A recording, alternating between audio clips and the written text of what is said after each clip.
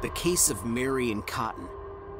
Mary Ann Cotton was an English serial killer who was believed to have murdered up to 21 people, mostly her own family members, using arsenic poison.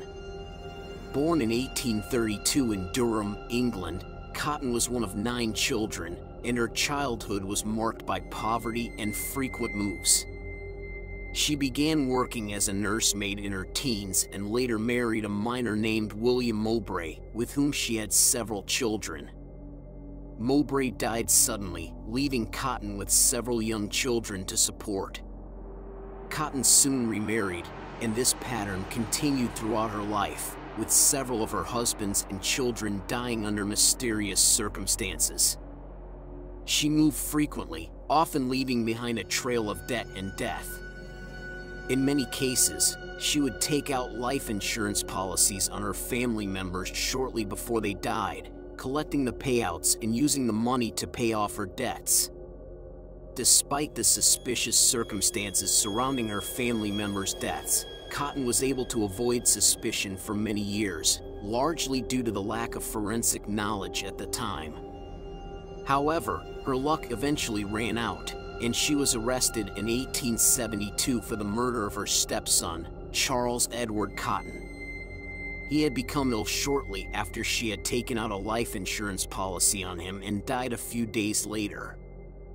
During the trial, it was revealed that Cotton had a history of taking out life insurance policies on family members shortly before they died.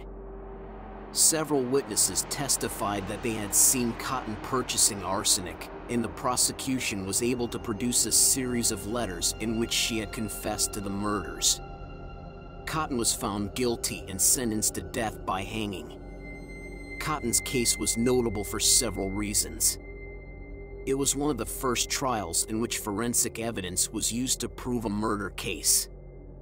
Cotton was also one of the first known female serial killers in England, and her case helped to fuel the Victorian public's fascination with crime and punishment. After her execution, Cotton's story continued to capture the public's imagination, inspiring numerous books, plays, and even a ballad. Some have even suggested that she may have been the inspiration for the famous nursery rhyme Sing a Song of Sixpence. Her case also had a lasting impact on the development of forensic science, helping to establish arsenic poisoning as a legitimate cause of death and leading to new methods for detecting the presence of the poison in the body. We hope you enjoyed this case overview, presented by Emmy Award-winning CrimeSonics. Be sure to give us a like, leave a comment, and subscribe for more content just like this.